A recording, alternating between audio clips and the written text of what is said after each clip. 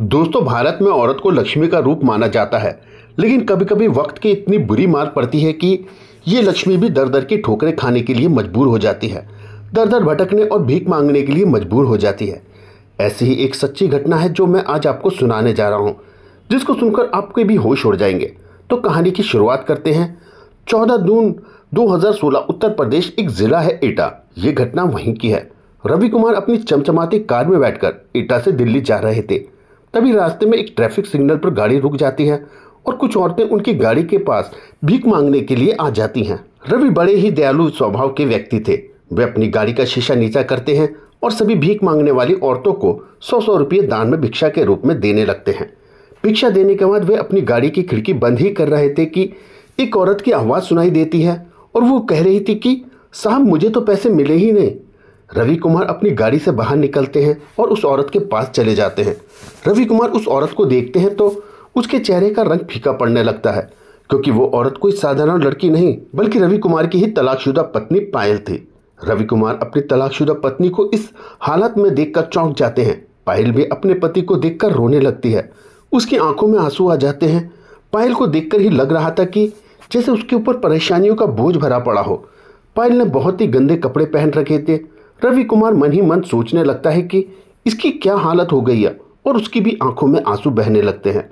उन दोनों को इस स्थिति में देखकर लोग वहाँ इकट्ठे हो जाते हैं कि आखिर मामला क्या है।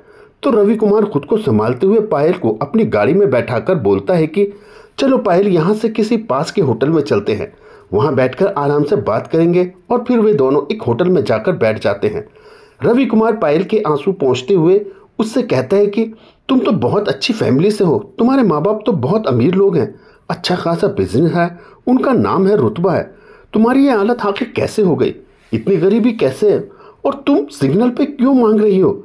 जबकि मैंने तो तुम्हें डाइवोर्स देने के बाद दस लाख रुपये भी दिए थे। इतना ज़्यादा पैसा तो तुम बड़ी आराम से अपनी पूरी ज़िंदगी गुजार सकती थी। रवि कुमार पायल से कहता है कि, तुम मुझसे अपने मामा, मामी, मौसा, मौसी की बातों में आकर कितनी लड़ाई झगड़ा करती थी। हमेशा मुझे तलाक लेने की बातें करती थी। मैं तो फिर भी तुम्हें माफ़ कर देता था। और तुम्हें कितना समझाया था मैंने कि ये तुम्हारी गलत फहमी है। तुम मुझसे तलाक मत लो, पर तुमने मेरी एक ना सुनी। तुम जिद पे अड़ी थी। नहीं, मुझे तो तलाक चाहिए तो चाहिए, और आखिर को तुम तलाक लेकर ही मानी। अब तुमने मुझसे तलाक ले ही लिया था तो। ये परेशानियाँ क्यों आ गई तुम्हारे साथ? मुझे बताओ, पायल, ये क्या हुआ? क्या हुआ है तुम्हें? तभी पायल रवि की बात को टालते हुए बोलती है कि, तुम्हारी माँ कैसी है? यानी कि मेरी सासू माँ कहती है। उनकी तबीयत का क्या हालचाल है? रवि कुमार बताता है कि मेरी माँ भी ठीक है। हर रोज़ बस तुम्हें ही याद करती रहती हैं और पूछती रहती हैं कि क्या मेरी बहू इस घर में दोबारा से वापस नहीं आ सकती? तुम्हारे घर से चले जाने के बाद मेरी माँ की हालत बहुत बिगड़ गई है। ये सुनकर पायल फूट फूट कर रोने लगती है। चलो ये बातें छोड़ो। पायल तुमने जो भी फैसला किया था, अपनी बेहतरी के लिए किया था। फिर वह पायल से पूछता है कि, पायल, तुम्हारी ये हालत आखिर कैसे हो गई? तभी पायल कहती है कि, ज़िंदगी के बारे में मत पूछो। तुमसे डाइवोर्स लेने के बाद जो दस लाख रुपये मुझे मिले थे, वो मेरी मौसा मौसी और मामा मामी ने हड़प लिए और मुझे घर से धक्का देकर बाहर निकाल दिया और ताना सुनाते हुए कहा कि, जो अपने पति की ना हो सकी, वो हमारी क्या होगी? उसके बाद मैं वहीं सड़क किनारे सिग्नल के पास किराए के मकान में रहती हूँ और भीख मांगकर अपना गुजारा कर रही हूँ और अपनी की गई गलती का पश्चाताप कर रही हूँ। पायल रवि से कहती है कि, मैं बहुत परेशान आ चुकी हूँ अपनी इस ज़िंदगी से। मेरा कोई सहारा नहीं है। फिर वे फफक फक कर रोने लगती है। रवि पायल को चुप कराते हुए बोलता है कि कोई बात नहीं, जो हो गया सो हो गया। पायल रवि से कहती है कि मुझसे बहुत बड़ी भूल हो गई है। तुम जैसा पति किसी को नहीं मिल सकता है। मुझसे बहुत बड़ी गलती हो गई है। मैंने तुमसे तलाक लिया। क्या तुम मुझे एक मौका और नहीं दे सकते हो? मुझे फिर से अपना लो रवि। ये कहते हुए पायल रवि के पैरों में लिपट जाती है। तभी वह पायल को उसके कमरे में ले जाता है और अपने काम से दिल्ली के लिए निकलने ही वाला था कि पायल कहती है कि अपना ख्याल रखना और कहीं रास्ते में खाना ज़रूर याद से खा लेना। रवि हाँ में जवाब देता है और फिर अपनी गाड़ी से दिल्ली के लिए सफ़र शुरू कर देता है। वह दूसरे दिन दिल्ली से वापस आता है और सीधा पायल के कमरे में पहुँचता है। उसको पायल वही कमरे पर ही मिल जाती है।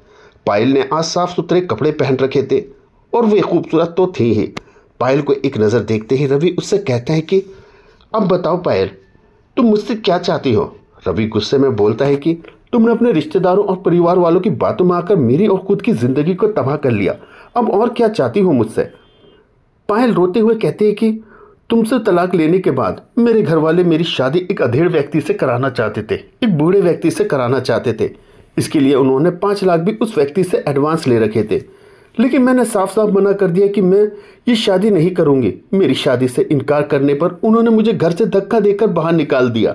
मैंने कई बार तुमसे बात करने की, की भी कोशिश की थी पर तुम्हारा कोई कांटेक्ट मेरे पास नहीं था और घर वालों ने मुझे तुमसे मिलने भी नहीं दिया। जब तक मैं तुमसे मिल पाती तब तक बहुत देर हो चुकी थी। तभी रवि की नज़र कमरे में एक दीवार पर पड़ती है जहाँ रवि और पायल की शादी की एक फ़ोटो लगी हुई थी। रवि पायल से इस तस्वीर के बारे में पूछता है कि ये तस्वीर क्यों लगा रखी है? हमारा तो तलाक हो चुका है ना अब इसकी क्या ज़रूरत है? पायल अपने आँसू पहुँचते हुए कहती है कि मैं रोज़ तुम्हें इस तस्वीर में देखती हूँ, तुम्हारी पूजा करती हूँ। मैंने पहले भी तुम्हें अपना पति ही माना था और आज भी मैं तुम्हें अपना पति ही मानती हूँ। पायल रवि से कहती है कि अगर सुबह का भूला शाम को घर लौटाए तो उसे भूला नहीं कहते। मुझसे बहुत बड़ी गलती हो गई। तुम जैसा पति तो सिर्फ़ किस्मत वालों को ही मिलता है। मैंने तुम्हारी कदर नहीं की, मुझे माफ़ कर दो। रवि पायल की बातों को सुनता रहता है और कुछ देर बाद बोलता है कि, ये कपड़े मैं दिल्ली से तुम्हारे लिए लाया हूँ। इन्हें तुम अपने पास रख लो। और मुझे जाने दो। मेरी माँ मेरा इंतज़ार कर रही होगी। अब जैसे ही रवि जाने लगता है पायल उसके पैरों में गिर जाती है और उससे कहने लगती है कि, मुझे भी अपने साथ ले चलो। मैं तुम्हारे घर के किसी भी कोने में पड़ी रहूँगी। तुमसे उफ तक नहीं करूँगी। अगर तुम मुझे यहाँ अकेला छोड़कर चले गए तो मैं मर जाऊँगी रवि। अब धीरे धीरे रवि भी इमोशनल होने लगता है और फिर वह अपने घर को फ़ोन करता है और अपनी माँ से बोलता है कि, माँ, पायल मिल गई है। ये सुनते ही रवि की माँ बहुत ज़्यादा खुश हो जाती है। वो कहती है कि बेटा मेरी बहू को साथ लेकर ही आना। अब जब मिल ही गई है तो कैसे भी करके उसे घर लेकर आ जा। मैं अपनी बहू से मिलना चाहती हूँ, उसे फिर से अपनाना चाहती हूँ। अब ये सुनकर पायल के चेहरे पर खुशी की लहर आ जाती है। वे मन ही मन सोचने लगती है कि, चलो माँ के दिल में तो मुझे लेकर कोई कालापन नहीं है, कोई भेदभाव नहीं है, वो तो मुझे स्वीकार करना चाह ही रही हैं। रवि पायल से कहता है कि, चलो कपड़े रखो और मेरे साथ चलो। ये सुनकर पायल रवि से गले लग जाती है और रोने लगती है।